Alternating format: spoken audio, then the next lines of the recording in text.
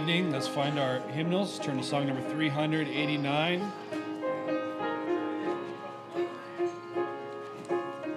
Song number 389.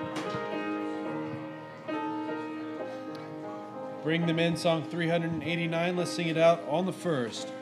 Hark, tis the shepherd's voice I hear out in the desert dark and drear, calling the sheep who've gone astray, far from the shepherd's fold away. Bring them in, bring them in, bring them in from the fields of sin. Bring them in, bring them in, bring the wandering ones to Jesus. Song 389 on the second. Who'll go and help this shepherd kind? Help him the wandering ones to find. Who'll bring the lost ones to the fold, where they'll be sheltered from the cold.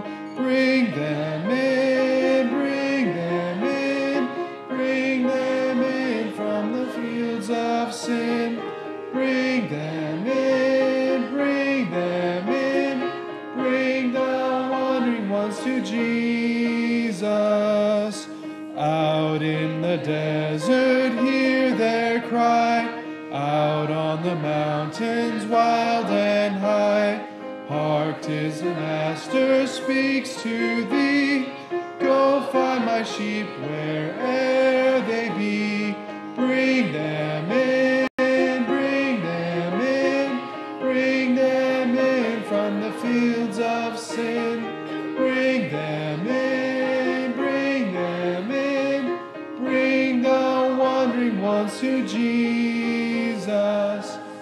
pray.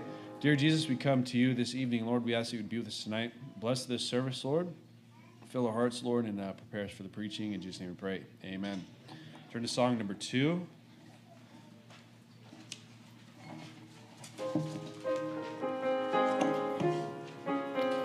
Glory to his name, song number two.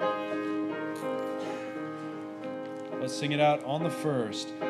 Down at the cross where my Savior died, down where for cleansing from sin I cried, there to my heart was the blood applied.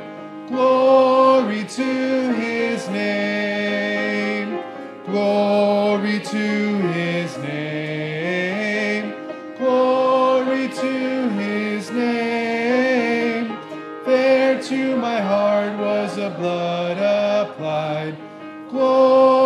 to his name. You guys are singing well. Sing it out on the second. I am so wondrously saved from sin. Jesus so sweetly abides within.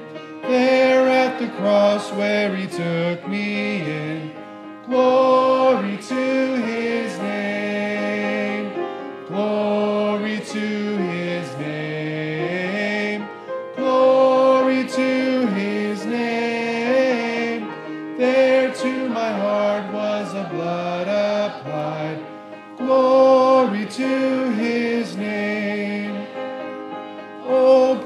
Fountain that saves from sin. I am so glad I have entered in. There Jesus saves me and keeps me clean.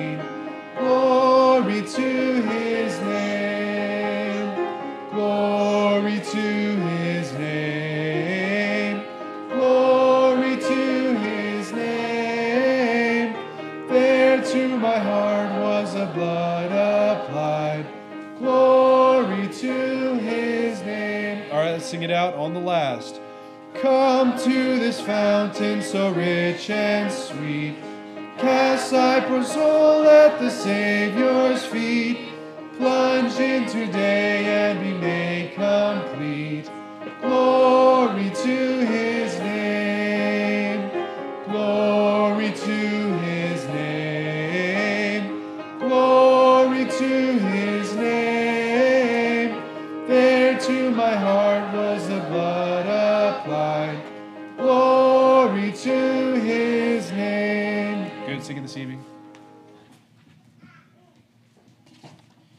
Amen. All right. Well, let's take our bulletins. We'll look at some announcements real quickly. If you need a bulletin, just raise your hand, and one of our ushers can get one for you.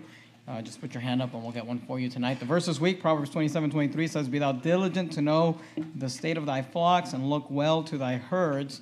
And of course, that has to do with what we we're learning about on uh, Sunday morning in regards to our finances. If you open up the bulletin, you'll see our service time, Sunday morning service, 10:30 a.m. And we do invite you to be with us on Sunday morning on the Lord's Day for church. And of course, we have our Sunday evening service at 6 p.m. And we're glad you made it out to the Wednesday night Bible study tonight. If you look at our soul winning times, our main soul winning times at 10 a.m.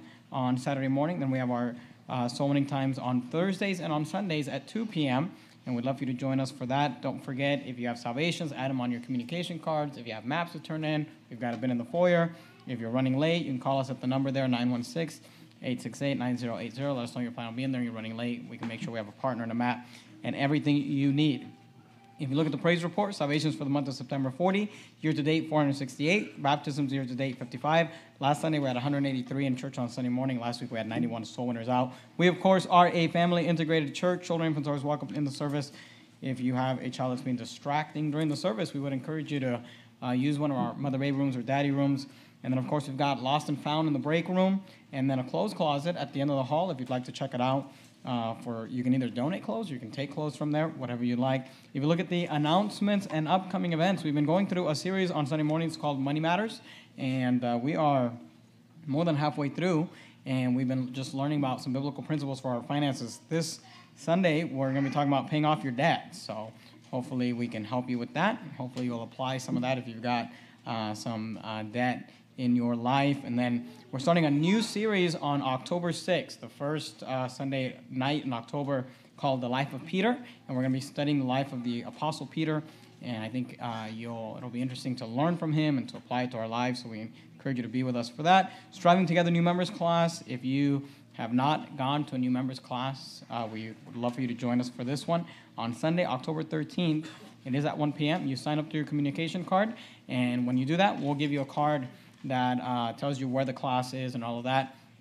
Lunch will be provided. We'll have it'll be uh, a small, a, a, short class. It won't be too long, uh, but it, it kind of just goes through our church history and what we believe and things like that. Cleaning crew appreciation dinner and training is this Friday. Don't forget if you signed up for uh, the cleaning crew, if, if you are in the cleaning crew, then we want you to come uh, on Friday night because we're having dinner and just fellowship to be able to appreciate you but we also uh, want to do some training. So we really need you there. If you are part of the cleaning crew, we'd love for you to come uh, at 6 p.m. And if you're not on a cleaning crew, but you'd like to be on a cleaning crew, maybe you're looking for an area to volunteer in church, and this is an area we always need help in. It's a super needed area, uh, then then you can sign up and you can do it tonight on your communication card. Sign up. We'll have dinner for you and we'll have fellowship and then we'll do some training and we'll get the cleaning crews all situated. Uh, we've got a lot of people that serve in this ministry. I don't know if you if you know that we've got two groups that alternate on Mondays. So one group comes in one Monday, the other group comes in on another Monday. Two groups that alternate on Saturdays. One comes in on one Saturday, the other one on another Saturday, and then two groups that uh, clean on Sundays. So a lot of people involved, uh, but we can always use more. We always need more. So if you can be part of the cleaning crew, dinner and training, make sure you sign up tonight. Men and Boys Hiking is on Saturday, October 19th. It's meeting here at the church building, ages seven and up. And guys, please sign up if you plan to go. Ladies have a weight loss meeting on Wednesdays at 6:15. They meet in the first mother room closest to the foyer. Men's homeschool group is uh, next Spanish class and PE class is October 10th, 9 a.m. and 10 a.m. If you look at the back of the bulletin, you have the birthdays and anniversaries. Those are all passed for September. This coming week, we will uh, have the October ones. Quotable quotes. The quote this week says, "A budget is telling your money where to go instead of wondering where it went." Money Matters. You look at the offerings that have came in so far for the month of September. I think those are all of the announcements that we have for now. Uh, we do have one uh, baptism certificate to hand out real quickly, so I'll go ahead and read this and we'll get this out.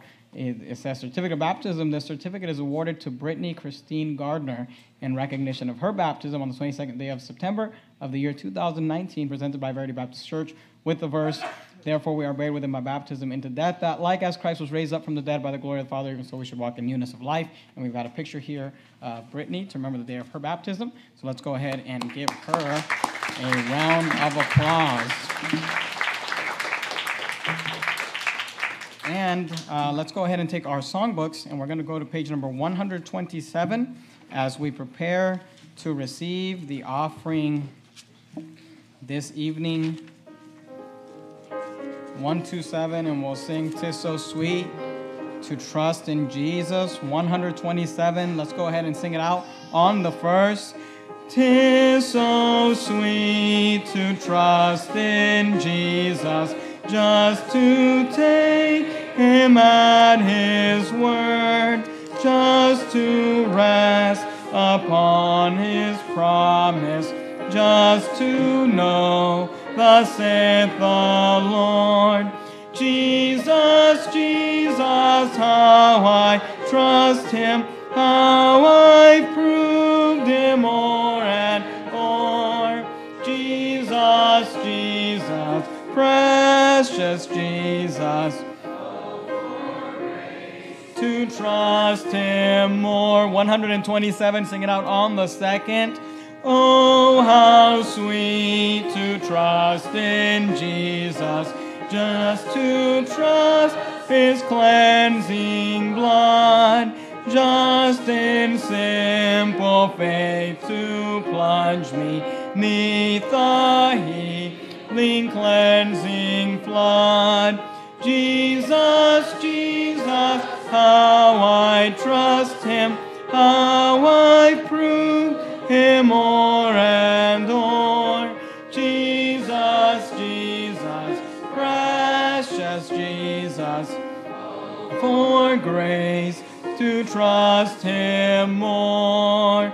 I'm so glad I learned to trust thee, precious Jesus, Savior, friend. And I know that thou art with wilt be with me to the end.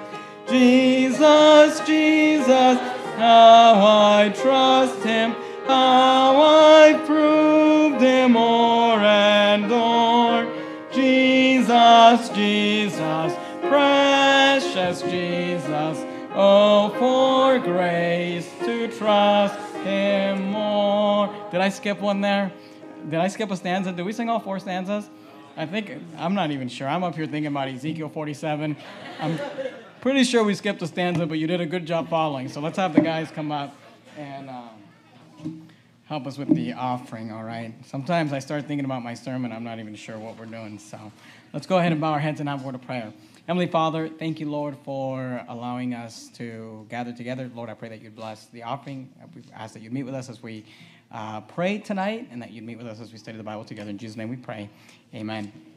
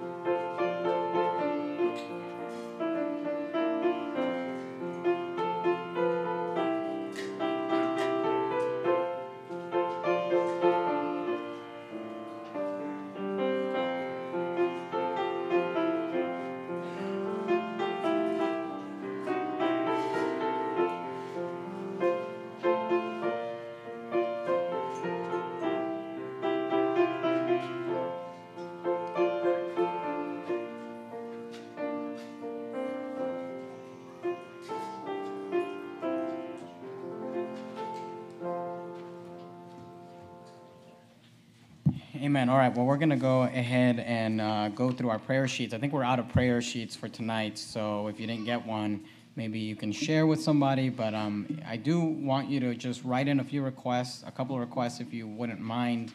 Uh, there's a guy named Aaron Dubrinsky. He has family in Southern California. I think his family, he has some sort of connection to uh, First Works Baptist Church with Pastor Mejia. Uh, but his family's up here. And anyway, he's in ICU. He was in a bad car accident. We've just been asked to pray for the pray for him, pray for his family. So if you wouldn't mind writing in Aaron Dubrinsky, D U B R I N S K I. And then, of course, uh, we also want to be praying for Miss Denise Anderson. She's going to be uh, going into hip surgery on October 11th. So let's keep her in prayer as well. If you would write her in, uh, I would appreciate that. And let's go ahead and take these uh, requests to the Lord. I'll pray out loud as you follow along in your mind and your heart.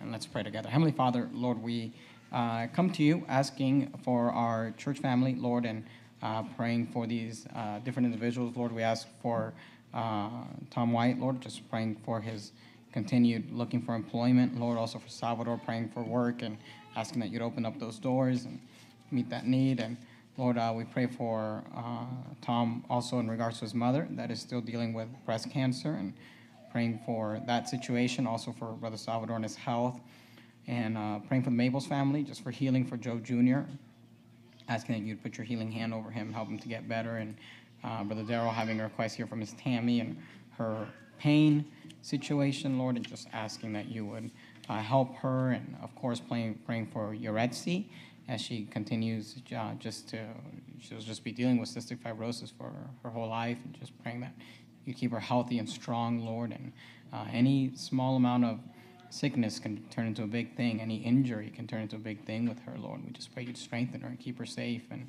uh, pray that you'd be with Edgar and Selena and give them strength. I, I can only imagine how.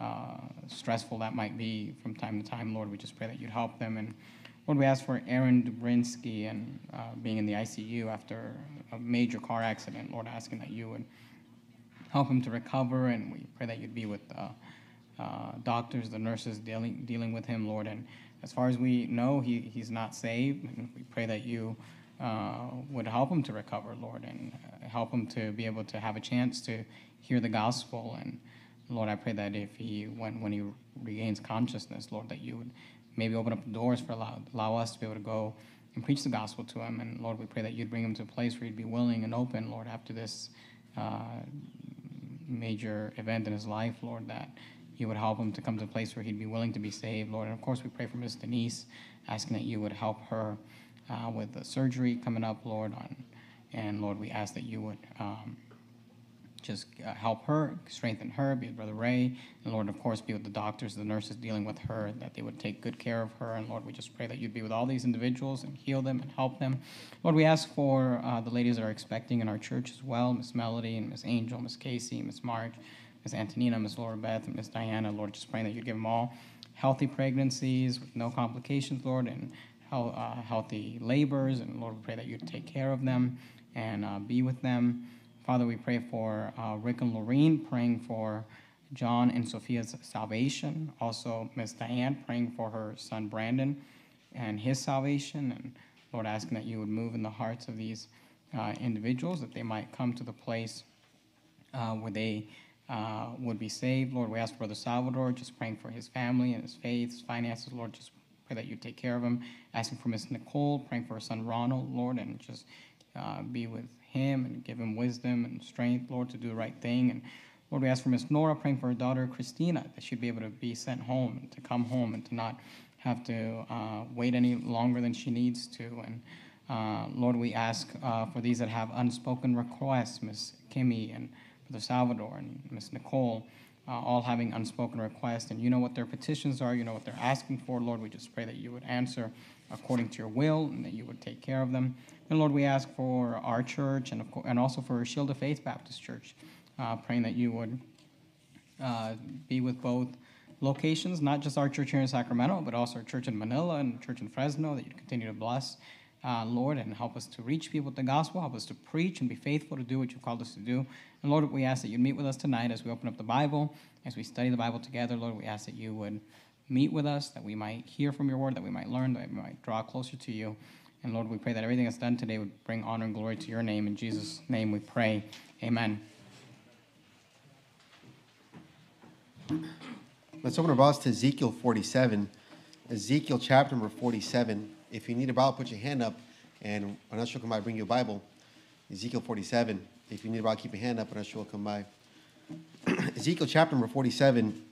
We'll read, we'll read the entire chapter as our custom. Ezekiel 47, beginning verse number 1. Afterward, he brought me again unto the door of the house, and behold, waters issued out from under the threshold of the house eastward. For the forefront of the house stood toward the east, and the waters came down from under the right side of the house at the south side of the altar. Then brought he me out of the way of the gate northward, and led, and led me about the way without unto the utter gate by the way that looketh eastward. And behold, there ran out waters on the right side. And when the man that had the line in his hand went forth eastward, he measured a thousand cubits, and he brought me through the waters. The waters were to the ankles. Again, he measured a thousand, and brought me through the waters. The waters were to the knees. Again, he measured a thousand, and brought me through. The waters were to the loins. Afterward, he measured a thousand, and it was a river that I, that I could not pass over, for the waters were risen, waters to swim in, a river that could not be passed over. And he said unto me, Son of man, hast thou seen this? Then he brought me and caused me to, to return to the brink of the river. Now, when I had returned, behold, at the bank of the river were very many trees on the one side and on the other. Then said he unto me, These waters issued out toward the east country, and go down into the desert, and go into the sea, which being brought forth into the sea, the waters shall be healed. And it shall come to pass that everything that liveth, which moveth, whithersoever the river shall come, shall live. And there shall be a very great multitude of fish, because these waters shall come thither, for they shall be healed. And everything that shall live, whither the river cometh. And it shall come to pass that the fishers shall stand upon it from Engedi, even unto Eneglaim. They shall be a place to spread forth nets. Their fish also shall be according to their kinds, as the fish of the great sea, exceeding many. But the mighty places thereof and the marishes thereof shall be shall not be healed; they shall be given to salt. And by the river upon the bank thereof, on this side and on that side, shall grow all trees for meat, whose leaves shall not fade, neither shall the fruit thereof be consumed. It shall bring forth new fruit according to his months, because their waters they issued out of the sanctuary. And the fruit thereof shall be for meat, and the leaf thereof for medicine. Thus saith the Lord God This shall be the border, whereby ye shall inherit the land according to the twelve tribes of Israel. Joseph shall have two portions, and ye shall inherit it, one as well as another, concerning the which I lifted up mine hand to give it unto your fathers. And this land shall fall unto you for inheritance. And this shall be the border of the land toward the north side, from the great sea, the way of Hethlon, as men go to Zedad. Hamath, Berothah, Sibraim, which is between the border of Damascus and the border of Hamath, Hazar-hatticon, which is by the coast of Haran. And the border from the sea shall be Hazar-enan, the border of Damascus, and the north northward, and the border of Hamath, and this is the north side. And these side he shall measure from Haran and from Damascus and from Gilead and from the land of Israel by Jordan, from the border unto the east sea. This and this is the east side. And the south side southward from Tamar, even to the waters of strife and Kadesh, the river to the great sea. And this is the south side southward. The west side also shall be the great sea from the border, till a man come over against Hamath. This is the west side. So shall he divide this land unto you according to the twelve tribes of Israel. And shall come to pass, that he shall divide it by lot for an inheritance unto you, and to the strangers that sojourn among you, which shall beget children among you, and they shall be unto you as born in the country among the children of Israel. They shall have inheritance with, with you among the tribes of Israel. And it shall come to pass that in what tribe the stranger sojourneth, there shall he give him his inheritance, saith the Lord God. Let's pray. Heavenly Father, I thank you for tonight. I thank you for our church, for everyone that's here, to God. And I ask you to be with our hearts tonight, God. And I ask you to give us a tender heart. And I ask you please be with our pastor, God's strength, Lord. Fill him with spirit, God. I love you. In Jesus' name, pray. Amen. Amen. All right, well, we're there in Ezekiel chapter number 47. And we've been going through the book of Ezekiel on Wednesday nights. It's been a long journey through the book of Ezekiel. We're almost done. This is chapter 47, and then uh, next week, we'll be in chapter 48. Some of you have been here for every single sermon in the book of Ezekiel, and hopefully, you've uh, learned a lot from Ezekiel and gathered a lot. Tonight, we're here in chapter 47, and of course, for the last several months or couple of months, we've been dealing with uh, this last section of Ezekiel, which is verses chapters 40 through 48, and this deals with Ezekiel's end times prophecy and with Ezekiel's temple. We've talked a lot about that.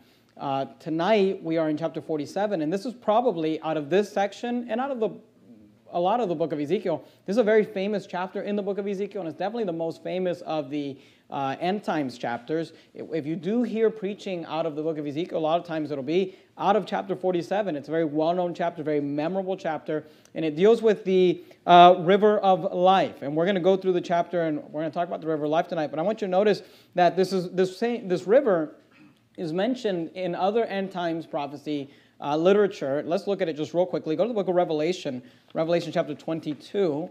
And uh, we're just going to read this, and then we're going to come back to Ezekiel. We're not going to develop it uh, just yet. We'll come back to Revelation 22 towards the end of the sermon, but I want you to just notice the similarities. Revelation 22 and verse 1.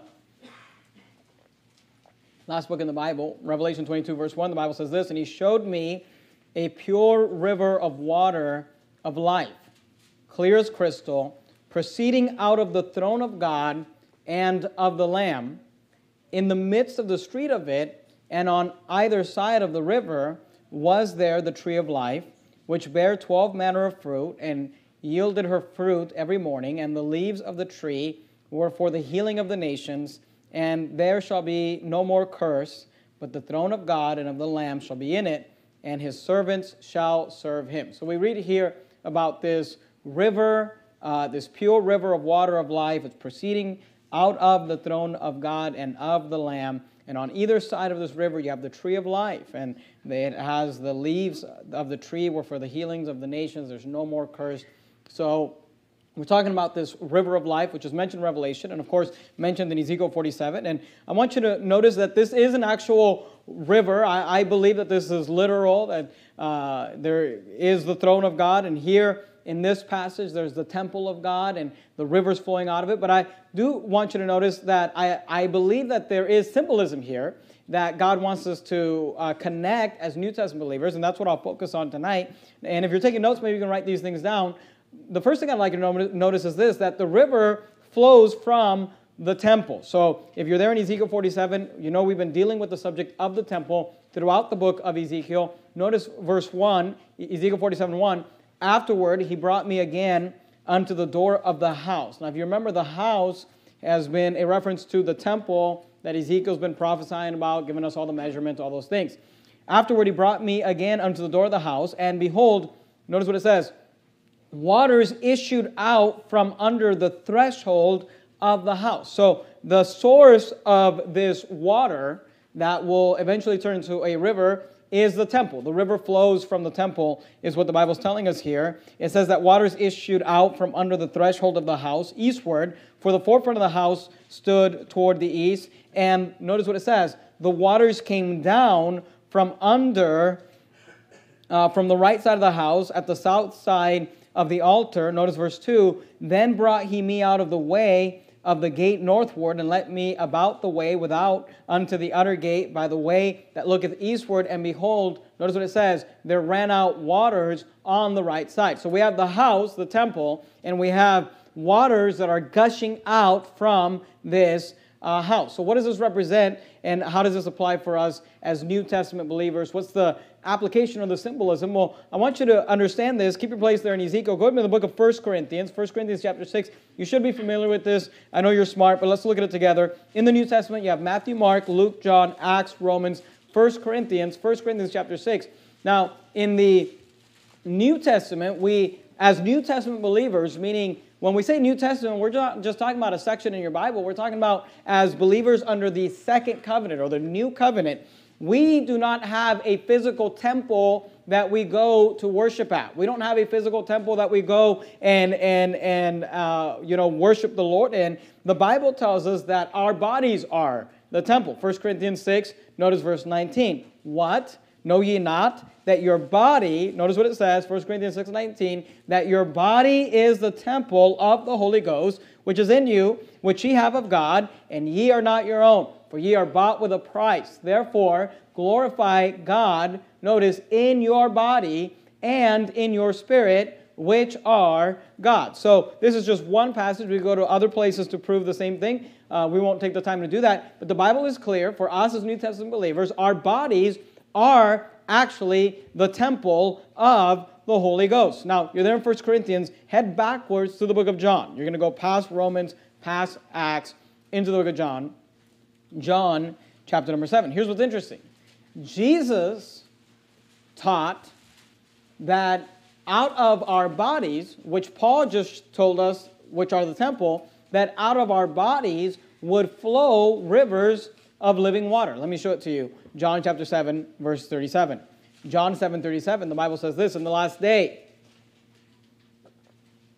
that great day of the feast, Jesus stood and cried, saying, If any man thirst, let him come unto me and drink.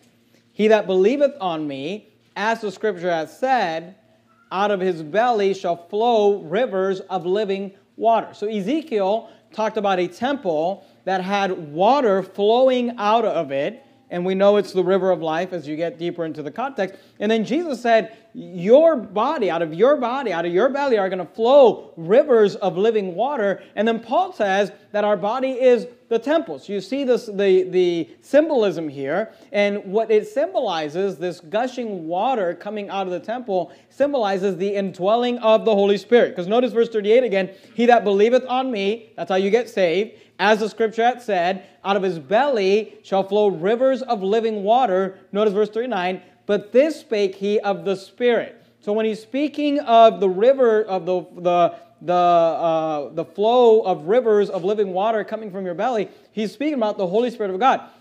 But this spake he of the Spirit, notice, which they that believe on him should receive. So we're talking about the indwelling of the Holy Spirit.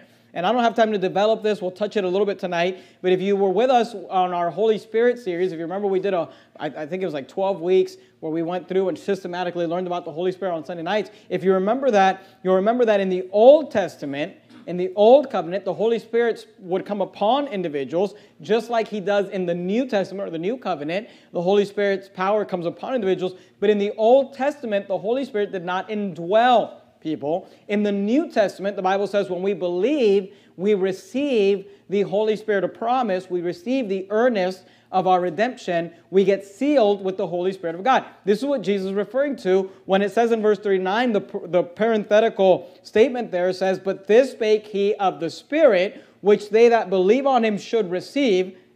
For the Holy Ghost was not yet given. Why? Because that Jesus was not yet glorified. So the Holy Ghost would not be given until Jesus died, was buried, resurrected in his glorified body. And then, of course, you remember when Jesus uh, appeared in his resurrected body, he looked at his disciples and he breathed on them and he said, Receive ye the Holy Ghost. Because the indwelling of the Holy Spirit did not happen until after the resurrection of Christ. But Jesus referred to that indwelling as the fact that there would be out of our bellies shall flow rivers of living water. So we see this in Ezekiel, the temple, and we see the water gushing out of it, but it is a picture or symbolism, and I do believe it was a physical temple with actual water, but I believe that it represents the fact that we as New Testament believers, our bodies are the temple of the Holy Ghost, and out of our bodies will flow the Holy Spirit, picturing the indwelling of the Holy Spirit. And if you are going to be the temple of God, the temple of the Holy Ghost, you have to be indwelled with the Holy Spirit, which is pictured here as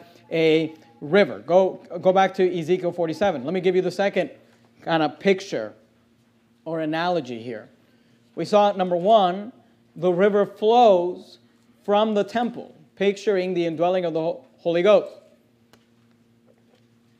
or the indwelling of the Spirit. But I want you to notice, secondly, that the river grows in depth and intensity. It grows in depth and intensity. Notice verse 3, Ezekiel 47 and verse 3. And when the man that had the line in his hand went forth eastward, he measured a thousand cubits, and he brought me through the water. So now they're following the river. They're measuring the river, and he goes out a thousand cubits, and he brought me through the waters. And notice that Ezekiel is identifying for us the depth and the intensity of the river. He says there at the end of verse 3 the waters were to the ankles. So he's walking through this river, and the river is not very deep. It just he can kind of he, he can put his feet through it and walk through it with his feet, but it reaches up to the ankles. Notice verse 4. Again, he measured a thousand, talking about a thousand cubits, and brought me through the waters. The waters were to the knee. So now it's getting deeper and a little more intense. We go from the water being at his ankles now to the water being to his knees. Notice again, the Bible says again, he measured a thousand and brought me through. The waters were to the loins. Now they're up to his hips. Okay? So this river begins, the temple begins to gush water out, and this water begins to form into a river. Ezekiel is following this river, and it's up to his ankles, then it's up to his knees, then it's up to his loins. Notice verse 5. Afterward, he measured a thousand, and it was a river that I could not pass over, for the waters were risen. Notice, waters to swim in, meaning he could be fully immersed into this river. The river had gone big enough to where he could swim in it, a river that could not pass over. Now, keep your place there in Ezekiel. Go, go back with me to the book of Matthew. First book in the New Testament should be fairly easy to find. And this is again illustrating the work of the Holy Spirit in our lives. Because when you first got saved, or when you got when you get saved, when somebody gets saved, the Holy Spirit indwells them, and immediately you now have this fountain of living water inside of you. And by the way, this all all of it connects and i wish i had the time to develop it I, I just don't but all of it connects to eternal security because the reason that you are secure in christ is because you are sealed with the holy spirit right? He is the earnest of our redemption. The bible says that we believed and we were sealed and we are sealed until the day of redemption. But another illustration uh, of the holy spirit giving us eternal security is the fact that he is the source of life of living water. Remember, Jesus told the woman at the well, He says, If you drink of this water, you'll thirst again. But if you drink of the water that I'll give you, He said, You'll never thirst. And she said, Give me this water to drink. And, and he was referring to the fact that salvation produces in you a source of, of water. The Holy Spirit is a river of living water that will produce in you eternal life. But here's what you need to understand that's just the first step. The indwelling of the Holy Spirit just gets you saved or puts you in a state of salvation and preserves you and gives you everlasting life. But that's not all that God wants for you. God wants you to be filled with the Holy Spirit. Now, here's where a lot of people get confused, and especially the charismatics and Pentecostals, and they don't understand the separation that there is a difference between being sealed with the Holy Spirit and being filled with the Holy Spirit. There's a difference between having a measure of the Holy Spirit that seals you, and then having the Holy Spirit be completely overwhelming you. And this is what God wants. God wants us to not only have the source of life, the water springing in our, in our bodies through the temple, but God wants eventually the Holy Spirit to flow in us, like we see with Ezekiel, where it starts small, but it ends up being big to the point where it overwhelms us, to the point where it's waters deep enough to swim in, to the point that it's waters deep enough to be baptized in. And this is what the Bible talks about. And we're not talking about literal physical baptism, we're talking about the baptism of the Holy Spirit. Are you there in Matthew 3? Look at verse 11. Notice what the Bible says. Matthew chapter 3 and verse 11. I indeed baptize you with water unto repentance. But he that cometh after me, so this is John the Baptist speaking. He says, Yes, I have been baptizing you physically into, into water. He says, But he that cometh after me is mightier than I. Notice, whose shoes I am not worthy to bear. He shall baptize you with the Holy Ghost and with fire. So he says, Look, I've been baptizing you with water, but that's just a picture. That's just an illustration. Me taking you and dunking you under the water, that's just an illustration of what Jesus is going to do. He's going to baptize you with the Holy Ghost. Go to Acts chapter number 1. You're there in Matthew, got Mark, Luke, John, Acts chapter 1. Now, there's a lot of confusion about the baptism of the Holy Spirit.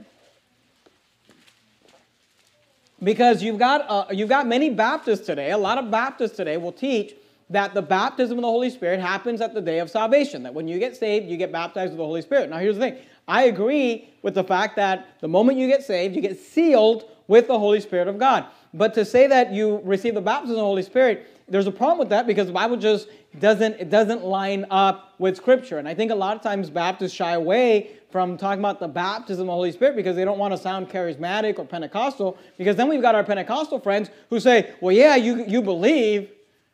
You know, that's just one step. Then you have to repent of your sins. That's another step. And then eventually you get baptized with the Holy Ghost and you start, you know, laughing uncontrollably and barking like a dog and rolling around the aisles or whatever brand of Pentecostalism craziness you're into. You know, you start speaking in tongues, you start doing all these crazy things. Look, that's not in the Bible either. Okay, so what is what does the Bible actually say? Are you there in Acts 1? Look at verse 4. Acts chapter 1 and verse 4. And being assembled together with them. Now remember, we're in the book of Acts. This is after the resurrection. Jesus is in his glorified bodies. He already breathed on them and said, Receive you the Holy Ghost. And then he says this in verse 4, and being, or the Bible says this in verse 4, and being assembled together with them, commanded that they should not depart from Jesus, but wait for the promise of the Father, which saith he, Ye have heard of me. Notice verse 5. For John truly baptized with water, but ye shall be baptized with the Holy Ghost. Notice what he says not many days hence. So at this point, according to Acts 1 5, had they already been baptized with the Holy Ghost? No. In fact, Jesus is telling them, You're about to get baptized with the Holy Ghost. He said, In fact, it's not going to happen many days hence, meaning it's not going to be too much longer, not going to be too many days before it happens. Notice uh, verse, uh, well, let's just read 6 and 7. When they therefore were come together, they asked of him, saying, Lord, wilt thou at this time restore again the kingdom of Israel? And he said unto them, It is not for you to know the time or the seasons which the Father hath put in his own power. They're asking him questions about when he's going to establish the kingdom. He says, Don't worry about that. That's not something you need to worry about. Here's what you need to worry about. Verse 8 But ye shall receive power.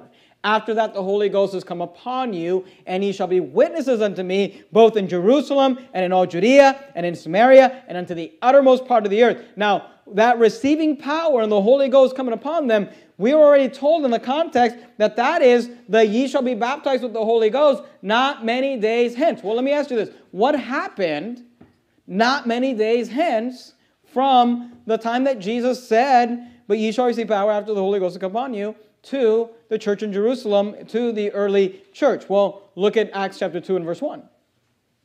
And when the day of Pentecost was fully come, because remember, Jesus walked on this earth for 40 days after his resurrection. Then he ascended. 50 days after his resurrection, we have the day of Pentecost. It's a holiday that happens after the Passover, 50 days after the Passover, which is why it's called Pentecost.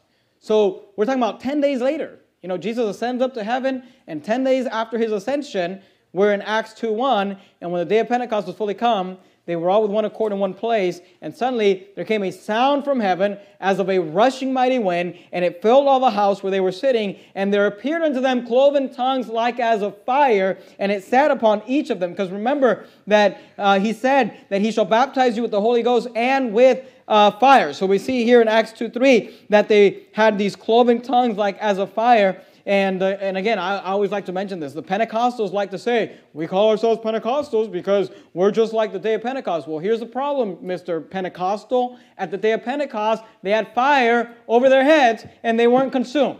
All right? So unless you want to be like Michael Jackson and you want us to set your head on fire, don't tell me you're doing well, what we do is what happened at Pentecost. Uh, don't think so. Look at verse 4. And they were all filled. You see that?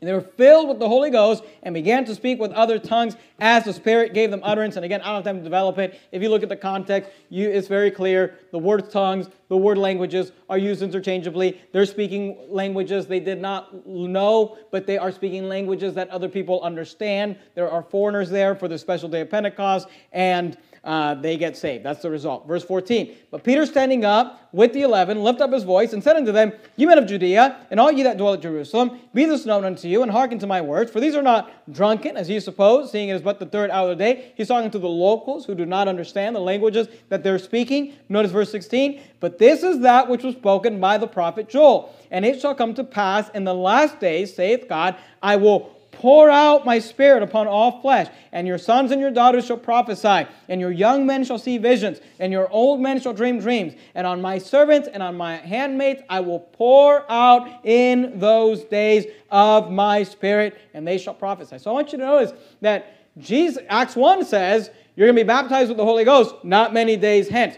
Then, not many, then he says, you're going to receive power after that the Holy Ghost come upon you. Then, not many days hence, you have the day of Pentecost where the Holy Spirit was poured out upon them. They'd already been indwelt with the Holy Spirit of God. Now they have the Holy Spirit coming upon them. They have the Holy Spirit being poured on them. They're being filled with the Spirit. They're being baptized with the Spirit. These are all terms that are used interchangeably to speak about the empowering of the Holy Spirit. Because here's the truth just because you are indwelt with the Holy Spirit does not mean that you are empowered by the Holy Spirit. This is why the Bible says, quench not the Spirit, grieve not the Spirit. Why? Because you can have the Holy Spirit in you and be quenching it, quenching Him. You could have the Holy Spirit in you and you could be quenching the Holy Spirit. You could be grieving the Holy Spirit. But the Bible tells us that we are to walk in the Spirit. The Bible says that if we walk in the Spirit, we won't fulfill the lust of the flesh. So here's what I understand. In Ezekiel, we've got this temple and it has water gushing out of the temple. The water source is in the temple. That is a picture of the indwelling of the Holy Spirit. Why? Because your body is a temple and Jesus said that out of you would gush out pure uh, wa- uh, living waters, a river flowing out of living waters, and he was referring to the Holy Ghost. Then we see Ezekiel as he continues on his journey, the flow of the river, the intensity of the river increases, the depth of the river increases to the point where now it's, it's over his head. He says it's waters to swim in. He says it's waters that he cannot pass over. And that pictures the fact that God wants you to be filled, He wants you to be baptized, He wants you to be empowered by the Holy Spirit of God. Go back to Ezekiel 47. Let me give you the third the third lesson in regards to this river, and, and we'll be done. Ezekiel 47, notice verse 6. Here's point number three. Point number one was the rivers flow from the temple, picturing the indwelling. Point number two, the rivers grow in depth and intensity, picturing the filling or baptism of the Holy Spirit. Point number three, the river produces fruit and healing. The river produces fruit and healing. Notice Ezekiel 47 verse 6. And he said unto me, Son of man, hast thou seen this? Then he brought me and caused me to return to the brink of the river. So he goes, you know, he's out there swimming in this river or whatever. And then um, he's brought back by his guide and he says, Have you seen this? And he bring him to the brink of the river. Notice verse 7. Now, when I returned, behold, at the bank of the river, were very many trees. Now, when we started the sermon, we went to Revelation 22 and we saw the same thing. We have the river with the trees. He says there were very many trees on, notice that last part of verse 7, on the one side and on the other. Look at verse 12. And by the river upon the bank thereof, on this side and on that side, shall grow all trees for meat. The word meat in the Bible simply refers to food. Okay, we use the word meat in regards to what the Bible calls flesh. Meat in the Bible is just food. He said this, this, these trees are growing. The, they shall grow all trees for food, for meat, whose leaves shall not fade, neither shall the fruit thereof be consumed. It shall bring forth new fruit according to his months. So remember when we read in Revelation 22, it said that there was the tree of life, and they brought forth 12 different fruits, a different fruit for every month. Here we are told the same thing. The fruit thereof shall be for meat, for the leaf thereof. Uh, well, I'm sorry, I, I got ahead there a little bit. Notice verse 12 again. And by the river upon the bank thereof, on this side and on that side, shall grow all trees for meat, whose leaves shall not fade, neither shall the fruit thereof be consumed. It shall bring forth new fruit according to his months, because their waters they issued out of the sanctuary, and the fruit thereof shall be for meat, and the leaf thereof for medicine. So I want you to notice that the leaves are for medicine. Verse 8 Then said he unto me, These waters issue out toward the east country, and go down into the desert, and go into the sea, which being brought forth into the sea, the waters shall be healed. So the way that the nation of Israel is laid out is that you've got, of course, the, the northern kingdom, and you've got the southern kingdom, you've got Judah, and then you've got the Dead Sea. Now, the Dead Sea is a, a sea, basically, that it's actually the lowest part of the planet, which means that water runs down and it always takes the path of least resistance, which means it's always headed uh, down. And when you get to the Dead Sea, there's no more down to go to, it's the lowest part of the earth. Because of that, waters flow into the Dead Sea, but waters don't flow out of the Dead Sea. And the Dead Sea is filled with salt, in the Bible, in the Old Testament, it's not called the Dead Sea, it's called the Salt Sea. It's filled with all sorts of minerals, and it's crazy. Uh, when I was in Jordan, we, we spent time at the Dead Sea, and you float. You know, you actually don't sink. You can sit there uh, just your legs crossed Indian style and just float on the water uh, because it's got all this salt, because it has all these minerals. The Bible says here, though, that at this day the waters are going to flow.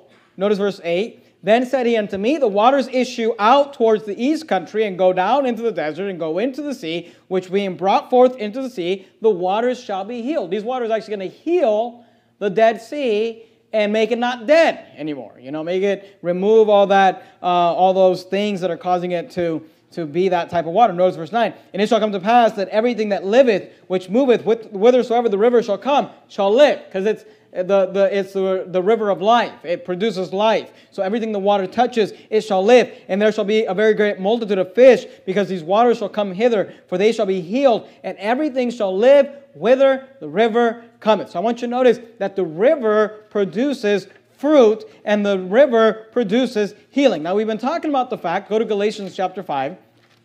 We've been talking about the fact that this river represents the Holy Spirit. The river flowing from the temple is a picture of the indwelling of the Holy Spirit. And then the river uh, grows in depth and intensity. That is a picture of the filling or the baptism of the Holy Spirit, then we see that the river produces fruit. It produces these trees, the trees of life, and they are producing fruit. It gives life. They, they give the, the, the trees give life. The river gives life. The trees are for medicine. It produces fruit and it produces healing. What? How does this uh, fit with the illustration of the Holy Spirit? Well, it fits in the sense that the Holy Spirit should produce the fruit of the Spirit in our lives. Are you there in Galatians 5?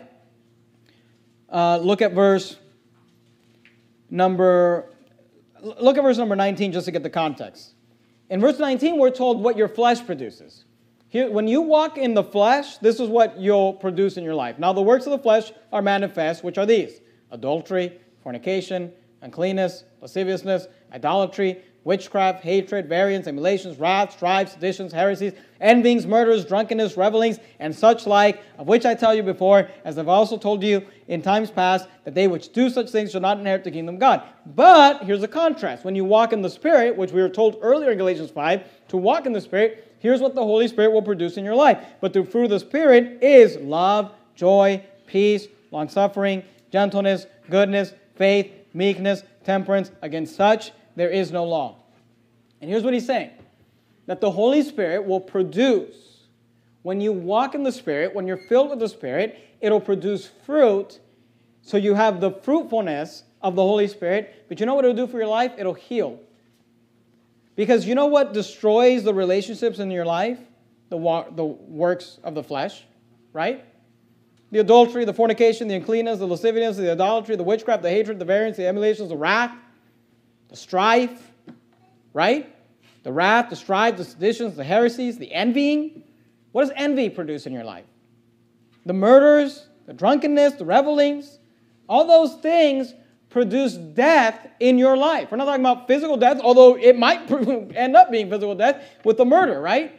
But I mean, it produces death in your relationship with your spouse in your relationship with your children, in your relationship with your fellow church members, in your relationship with your neighbors, with your coworkers. This is what is produced in your life. If you walk in the flesh, you're going to have a life filled of all these things. But he says, when you're filled with the Spirit, the Spirit will produce love, joy, peace, long suffering, gentleness, goodness, faith, meekness, temperance. And you know what those people need? Against such, there is no law. Those people don't need anybody telling them what to do. They don't need any commandment telling them what to do. Because when you're filled with the Spirit and you're producing the fruit of the Spirit, your life gets better and you get better at life. It produces the life that Jesus referred to as the abundant life. Because he did not just come to give you eternal life. He came, life, he came to give you the abundant life that he desires for your life. So this river, this river producing the fruit pictures the fruit of the Holy Spirit. It produces the it, produ- it, it produces fruit and healing. Go back to Revelation 22. So this is a, a picture of the Holy Spirit. The river flows from the temple, picturing the indwelling. The river grows in depth and intensity, picturing the filling or baptism of the Spirit. And then the river produces fruit and healing, picturing the fruit of the Spirit. But it's not just symbolism. This is an actual river. These are actual trees. And I like to just end tonight, this sermon, by showing you how this works in Revelation. Because if you remember, and I'm not going to take the time to, to rehash the whole thing, if you haven't been with us, you need to go back and listen to several sermons about what we believe about Ezekiel's prophecy. But just real quickly, what we believe, the best theory we've got is that Ezekiel's prophecy is a prophecy of the end times under the first covenant, or what the end times would have looked like under the first covenant. Now, we know that the first covenant was repealed and replaced, not because there was fault with the covenant, but there was fault with the people. So now we are under the new covenant. The new covenant has a different end times. It's similar because of the same God, but it plays out differently. But in this new covenant, we also have this river. We also have the tree of life. So I want you to notice how this applies to us in our end times prophecy and how this works. Revelation 22, look at verse 1. We already read it, but let's look at it together. And he showed me a pure river of water of life, clear as crystal, proceeding out of the throne of God and of the Lamb. I want you to notice it precedes, the word of there means it's referring to the source. The source is the throne of God, and the source is the Lamb. Notice verse 2.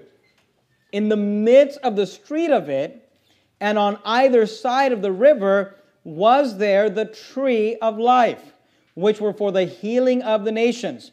And there uh, shall be no more curse, but the throne of God and of the Lamb shall be in it, and his servants shall serve him. So this river with the tree of lives, the, the trees alongside on either side of it, are obviously very similar to Ezekiel 47. Let me just show you or uh, point out to you a couple of differences. Okay, number one, in Ezekiel's prophecy, it's flowing out of the temple. In John's prophecy in the book of Revelation, it's, pro, it's flowing out of the throne of God. In Ezekiel's prophecy, and this is my opinion, and you know, people might have different opinions. In Ezekiel's prophecy, that temple, Ezekiel 40 through 48, that has to do with the millennial reign. That's what the millennial reign of Christ would have looked like under the first covenant. Say, how do we know that? Well, we know that one major way to know that is because animals are dying. Okay, people are reproducing. Remember, the prince has children, and uh, you know it's, it's it's the millennial reign. Here in Revelation 22, we're no longer in the millennial reign. If you remember in Revelation 20, and when we were in the Gog and Magog chapters, I went over this in a lot of detail, so I'll just go through this quickly, and you can go back and listen to those sermons if you need to. But in Revelation 20, you've got Satan. The chapter begins with Satan being cast into the bottomless pit, remember? Then you have the thrones, and they, they, they reign with Christ for a thousand years. You have the millennial reign of Christ. Then you have Satan loosed after a thousand years, after millennial reign. You have Satan loosed out of the bottomless pit, and then he gathers the nations together, Gog and Magog, to fight against God, right? God fights it. We covered all this in Ezekiel already. And then you've got the great white throne. Because remember, the millennial reign is bookended by two battles and two judgments. You've got the Battle of Armageddon, the judgment seat of Christ. You've got the millennial reign, and then you've got the Battle of Gog and Magog and the, way, the great white throne. The, the judgment seat of Christ is for believers to be rewarded for the works they did in their bodies. The great white throne is for unbelievers to be thrown into uh, the lake of fire. Then in Revelation 21, we see the new heaven and the new earth. This is what you, we would call the eternal state, or this is what generally we call heaven. When we talk about heaven and the pearly gates and the, the streets of gold, we're really referring to the new heaven and the new earth. Revelation 22 is just continuing on the description of Revelation 21. So when we read in Revelation 22 1, and he showed me a pure river of water of life, we're getting a glimpse of heaven all right? Not the millennial reign. In Ezekiel's prophecy, it's a millennial reign. Here it's heaven, and it's the throne of God, and uh, we've got the river flowing and the tree of life. Let me prove to you just one other way in the book of Revelation that this is heaven, the new heaven, the new earth, the eternal state, whatever you want to call it. Revelation chapter 2, look at verse 7.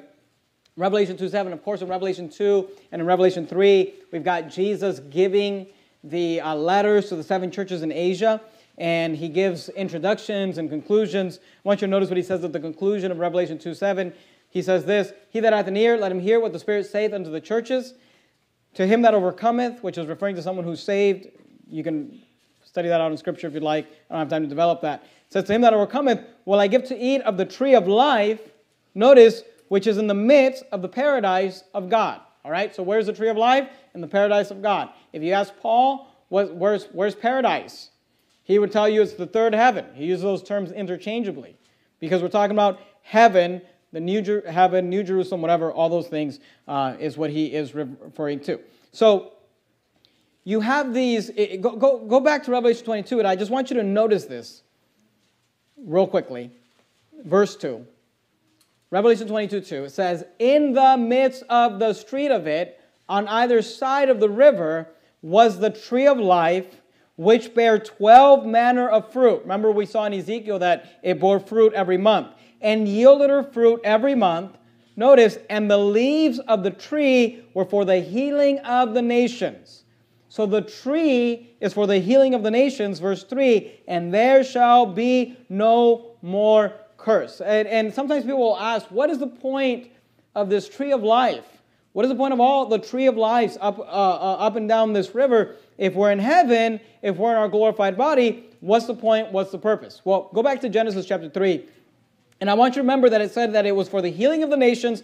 And I want you to remember in verse 3 that it said, Revelation 22 3, and there shall be no more curse. Okay? There shall be no more curse. Go back to Genesis chapter 3, and let me just explain this. What I'm about to explain to you is my theory. Okay? I feel like I've been saying that a lot lately in Ezekiel. The Bible says this the secret things belong unto the Lord our God. But those things which are revealed, you know, those are for us. And really, there are secret things in the Bible that we don't understand. Paul, who wrote most of the New Testament, Paul, who wrote much of end times prophecy, he said, We see through a glass darkly in regards to prophecy. He said, We see through a glass darkly, but then face to face. He said, Now I know in part, but then shall I know, even as also I am known. So I'm not going to sit up here and pretend like I've got it all figured out and this is exactly how it's going to work out. If Paul didn't know, good night, okay? The rest of us are seeing through a glass darkly. But let me give you my thoughts in regards to the purpose of this tree of life uh, uh, of the tree of life. You say, what's the point of the of the tree of life if uh, it was already if we're already in heaven or whatever? Genesis three verse twenty two. And the Lord God said, Behold, the, the man has become as one of us. Now remember in Genesis 3, we had Adam and Eve, they've sinned, right? And as a result of their sin, they are now under a curse. Remember, God said that the earth, the ground would be cursed, that he would have to work at the, from the sweat of his brow, Women are going to have to give birth in pain and labor. That's why I always think it's funny when women want to go to work. It's like, you want both punishments? You want the labor and the Adam's? Man, send that guy to work, you know? And the Lord God said, Behold, the man is become as one of us to know good and evil. And now, lest he put forth his hand and take also notice of the tree of life and eat and live forever. Why did God not want Adam or Eve to have access to the tree of life. Here's why. Because if they ate of the tree of life, they would live forever. Because at this point, they're under the curse. At this point, the Bible says that as of by one man, sin entered into the world, and death by sin. And so death passed upon all men, for that all have sinned. Adam is now dying. Eve is now dying. And if they were to eat of the tree of life, it's for the healing of the nations. It's for medicine. And the Bible says that they would live forever. And God did not want that, verse 23. Therefore, the Lord God sent him forth from the Garden of Eden to till the ground from whence he was taken, verse 24. So he drove out the man, and he placed at the east of the Garden of Eden cherubims and a flaming sword, and turned every way to keep the way of the tree of life. If they were to eat of the tree, they would have lived forever. God had put them under a curse that says that they needed to die. Of course, they needed salvation. The wages of sin is death, all those things. Go to 1 Corinthians 15. We're almost done. 1 Corinthians chapter 15. If you remember in Revelation 21, in Revelation 20, we end the millennial reign, right? Gog and Magog, the, the great white throne. And then in chapters 20 and 21, we're describing the eternal state, new heaven and new earth. Here's what you need to understand, and just try to kind of keep up with me. During the millennial reign, we are raptured before the millennial reign, right? We're raptured, we receive our glorified bodies, we come down with Christ, He fights the battle of Armageddon, He puts the devil in the bottomless pit, and then we rule and reign with Christ for a thousand years in our glorified bodies. But there are still human beings, mortal humans, just normal men and women that are living upon this earth. And those are the people that we are judging. Remember, we will be ruling and reigning and judging, and we'll be ruling and reigning over this earth, and we'll be judging those people. Some of those people are going to get saved, some of those people are not going to get saved.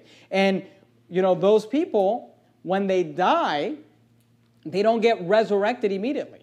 All right? It's not like, you know, I believe in Jesus and then I die and then I'm back. You know, they die during that millennial reign and they get buried just like we now. So when do they get resurrected? Well, they get resurrected at the great white throne. In 1 Corinthians 15, the Bible outlines for us the different resurrections of the dead. Are you there in 1 Corinthians 15? Look at verse number uh, 22.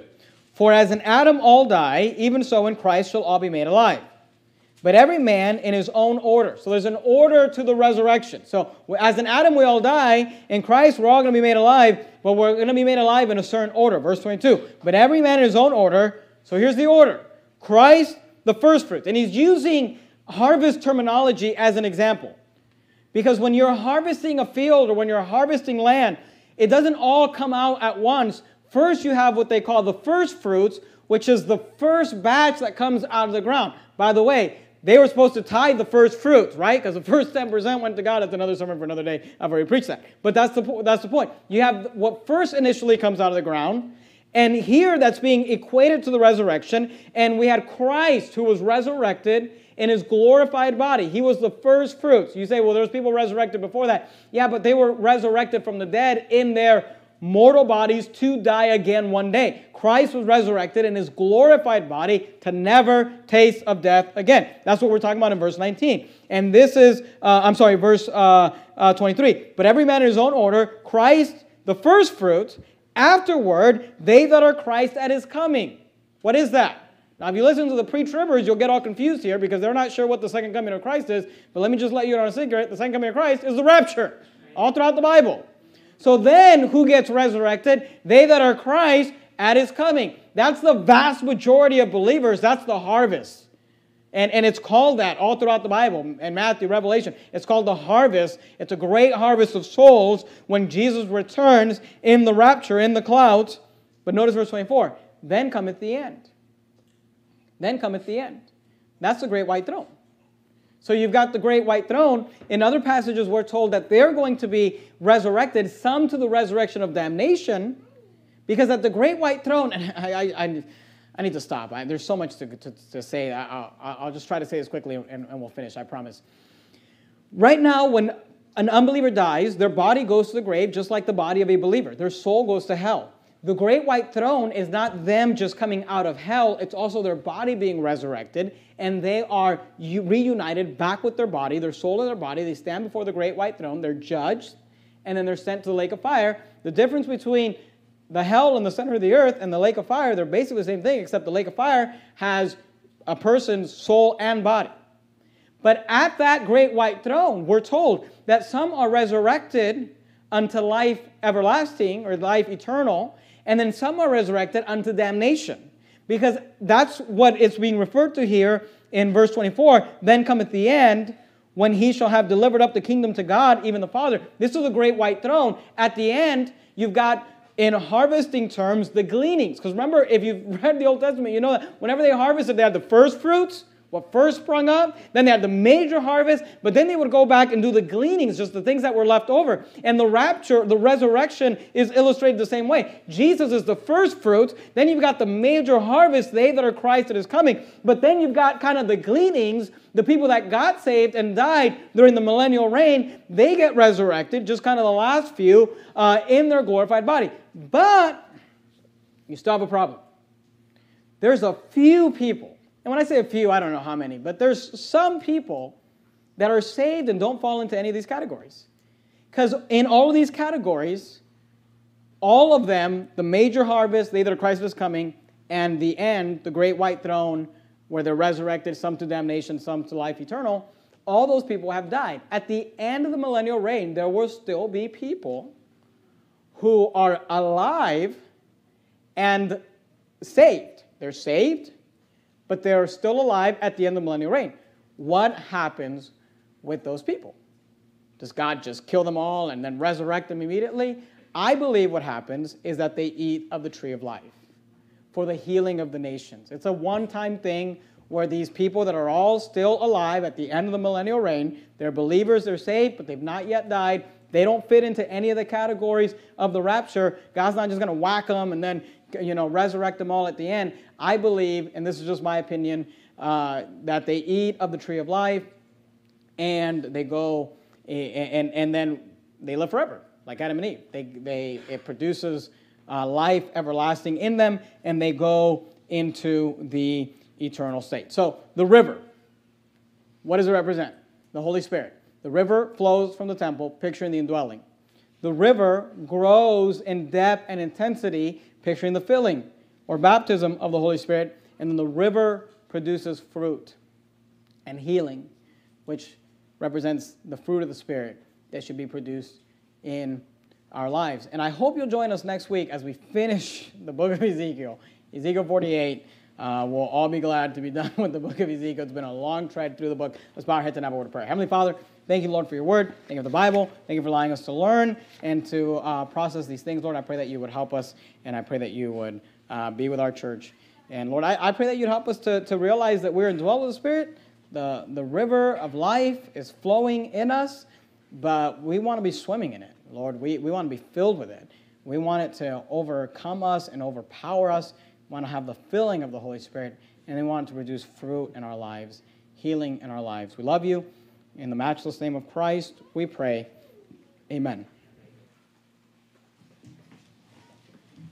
Turn to song 375. Song number 375.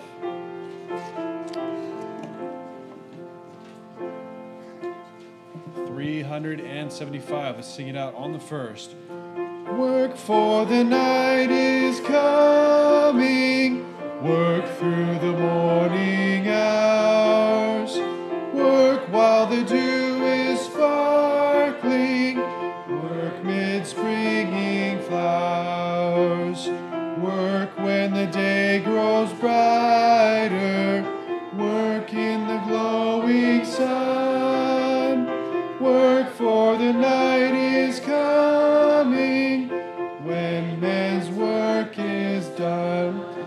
sing it out on the second. Work for the night is coming.